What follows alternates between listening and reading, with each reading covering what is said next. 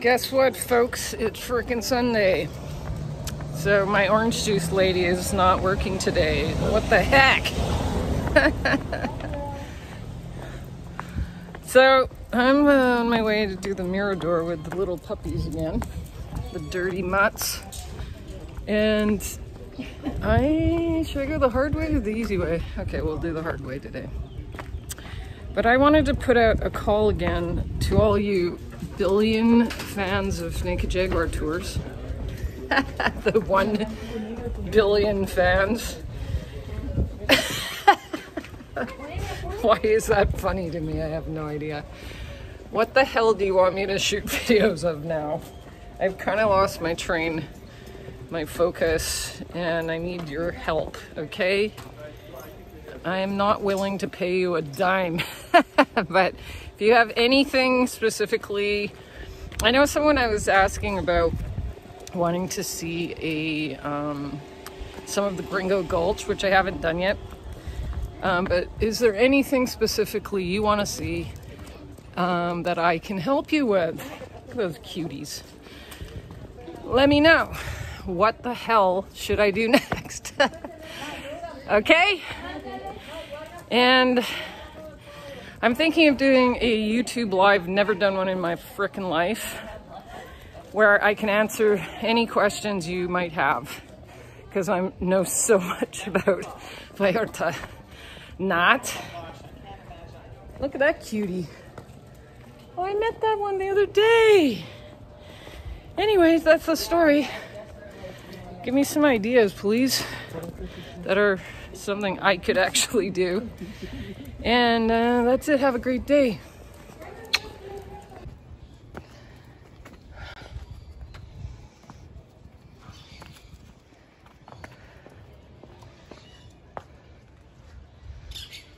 Don't forget, we gotta go up there.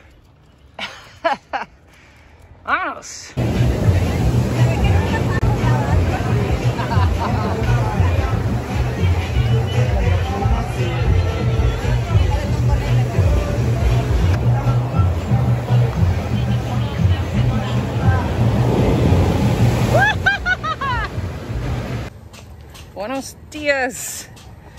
I'm sweating up a storm here. Just did the Mirador in Puerto Vallarta with my little buddy Shorty.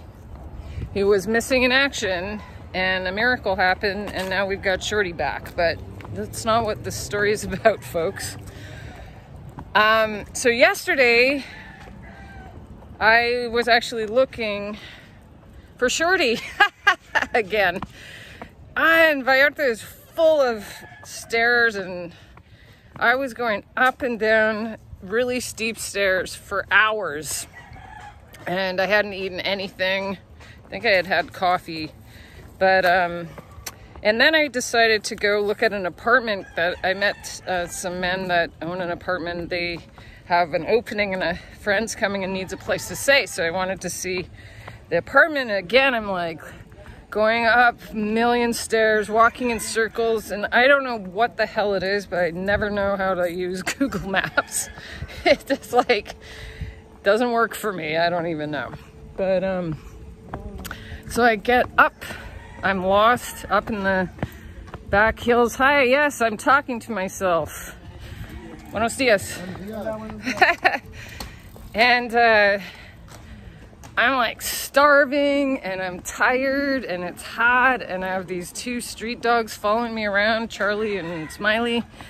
I'm trying to make sure they're safe because we're we had to cross like the this busy road and all this shit. And I'm up in this way up and Vallarta is full of layers and layers and layers of homes. Home on home on stairs.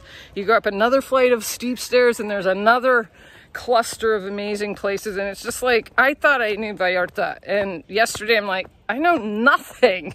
It is dense here. So but I kind of hit a wall because I could not for the life of me find this freaking apartment.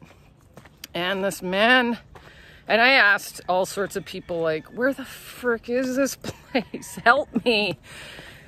And I was running out of steam. I was starting to get super hangry because I hadn't eaten and I was working out for three hours straight or whatever the hell it was.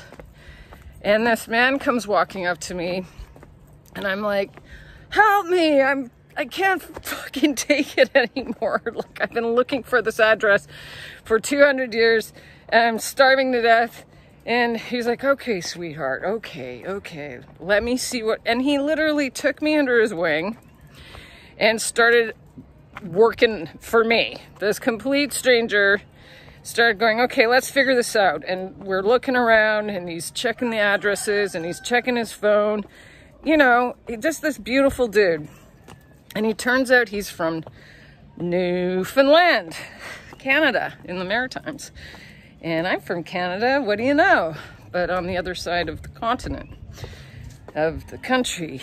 And um, so I'm gonna try to tell you this story. I swear to God, I'm gonna get it out. This guy helps me find the apartment, and it was hard to find because it was behind a giant wall. So it looked, it was invisible practically because it looked like nothing was there. And this guy, we go up to look at the apartment, and it turns out he had a freaking heart transplant. He had a genetic heart disorder. His heart looked like shredded meat. Do you know why I know that? Because he showed me a freaking picture of it. He showed me video footage of his graphic warning, graphic details of his chest open during surgery where they're removing his old shitty heart. No offense, not shitty, just damaged. And putting in this beautiful huge heart. And the, the, the footage is literally his chest is open and the heart's like boom boom boom boom boom boom this giant heart. It was disgusting. Like I, I mean i was like having a hard time looking at this footage but at the same time like here i am with this beautiful man. I had already experienced how big his heart is. I'm gonna start crying just telling the story. He was helping me. He even was like honey, I've got tostadas in my bag. I'm just like you. Um, and if I don't eat, I get hangry. so he pulls out some food and gives me a freaking tostada so I don't have a meltdown while he's helping me find this freaking apartment. So this beautiful man, if you happen to see this, thank you. People are beautiful. And I'm so bloody blessed all the time to get that kind of love. So this guy got a great big new heart and he's super healthy. Buenos dias. And uh, hello. And, uh, and I got to experience it. That's the story. Good morning. Good morning, Sherry.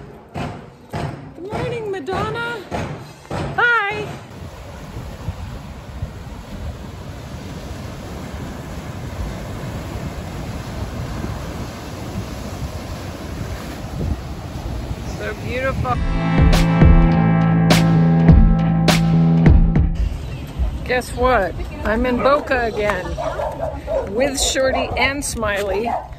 And mi amigo Victor is on his last couple days before he heads back to the USA. So we're all going with him to Quimixto for a send-off soiree. And like I said, we got both dogs here. I don't think uh, friend, uh, friendly Smiley has ever been on a panga, so this is gonna be a riot. And uh, Shorty last time was shaking like a lunatic because he was so scared. But anyway, we're gonna take the dogs on the boat and see what happens. Let's go to Quimixto, Amaga, amigas.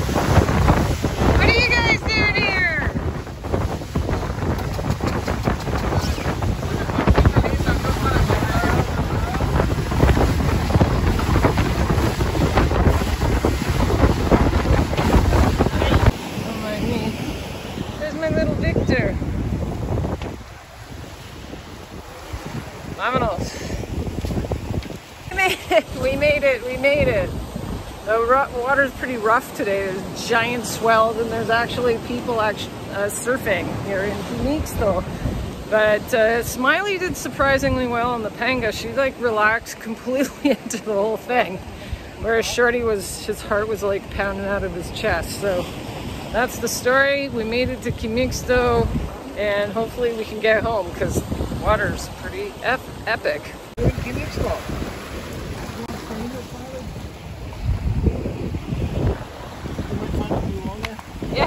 Yeah, just leave her here. Don't be a dog.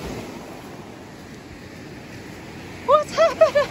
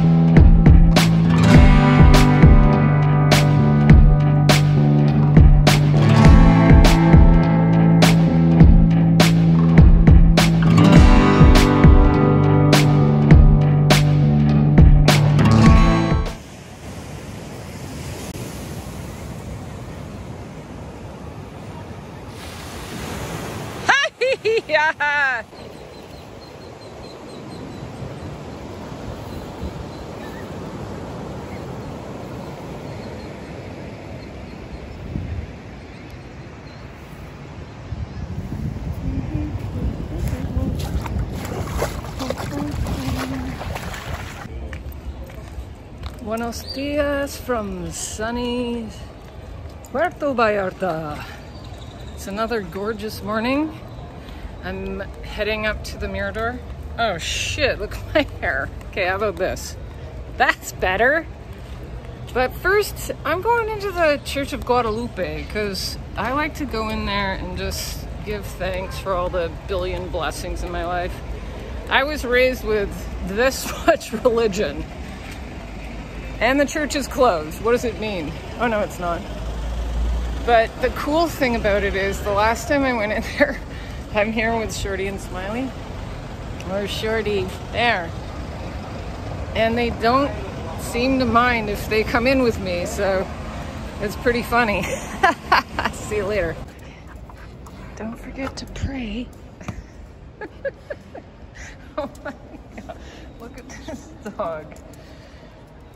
What are you doing? Go pray. You're gonna scratch your fleas and pray? Okay.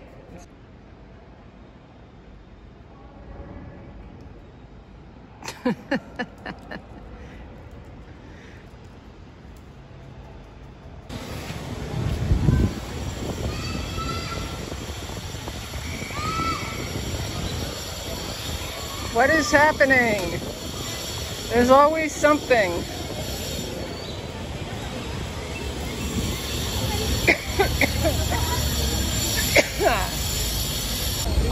Dudes, just having a quick mini walkies along the Malecón Look at this beautiful view behind me.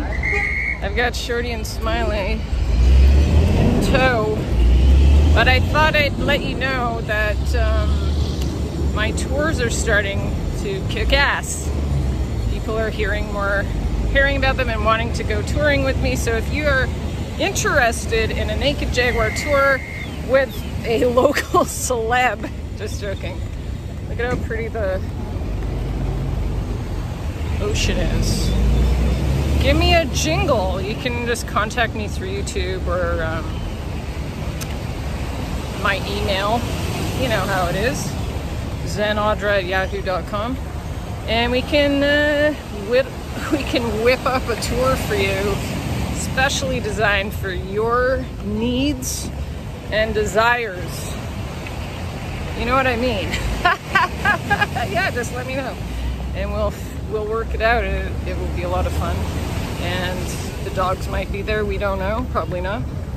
And that's it. You have yourself a glorious day. I sure as hell am. Let's go.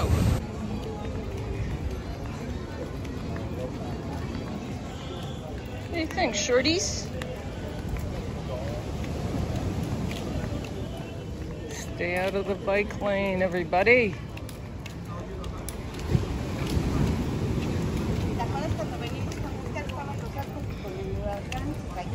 Vámonos.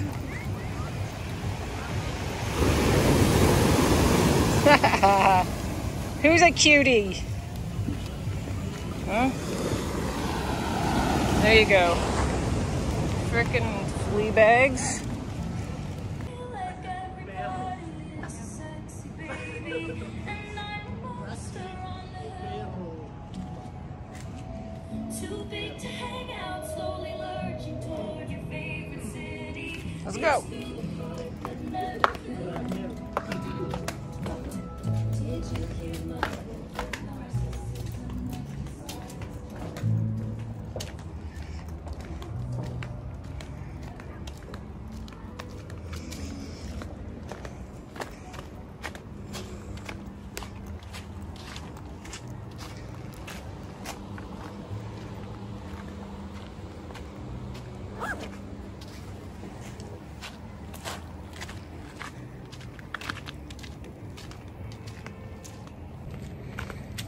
Yo, cats.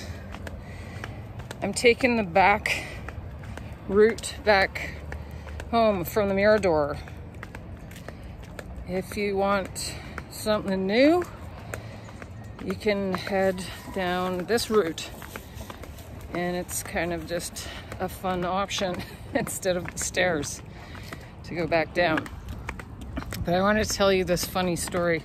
So whenever I, I usually take the stairs up to the Mirador and I go to the very top of the actual lookouty thing. And that's my entire exercise regime.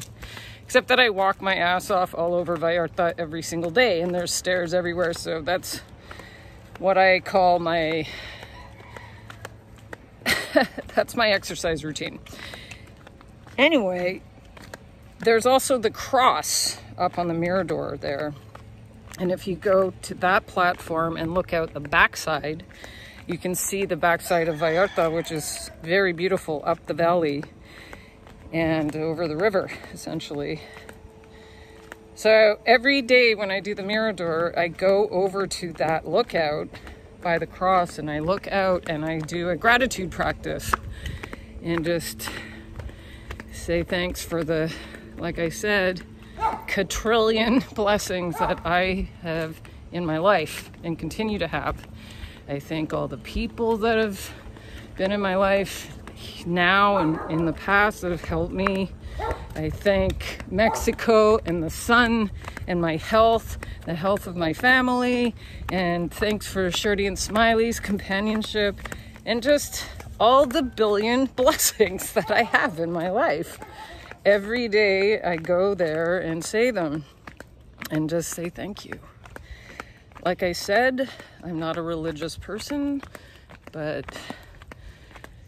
I feel called to do that, and it's a great way to, uh, great daily practice. If you aren't trying it now, do it. Give it a shot, where you can write down all the things you're grateful for. And let me tell you, back in the day, I remember the first time I heard that was probably from Oprah. I'm not like a huge Oprah lover, so whoever made that Oprah comment before, relax, dude. Um, she said something like, write down six grat- you know, great things you're grateful for before you go to bed. And I remember when I heard that, which was probably around 2000, a long fucking time ago.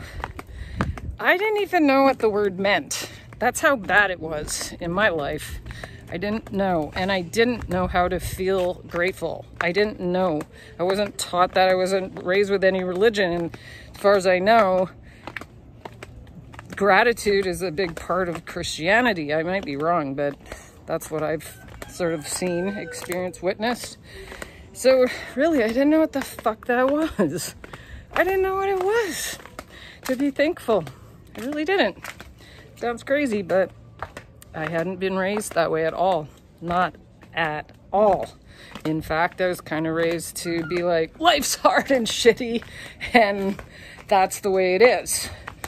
So it's taken me a long time to get to the place where when I do the gratitude practice, I feel it. And it's beautiful.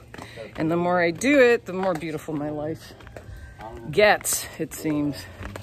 Hola, buenos días. Good morning. Good morning. Por la mañana. Para la mañana.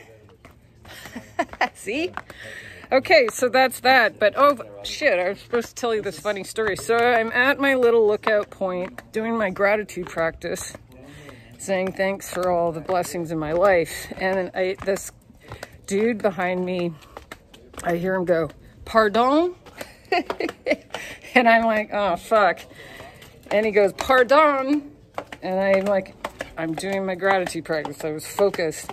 He goes, pardon. And I turn around and I go, I just stare at him and he's like, Can you please take a picture of me and my wife? And I'm like, I'm doing my gratitude practice. I'm talking to God and you're interrupting me, you know? So, I, ironical, don't you think? Um, so I just want to say sorry to you, dude. I should have just helped you out because I could have taken a breather, but I was determined to do my gratitude practice. So there's that, you know. Don't be an asshole. That's the message to me that I'm giving myself right now. I think I was having a funky morning, so I was like really hoping I could turn things around.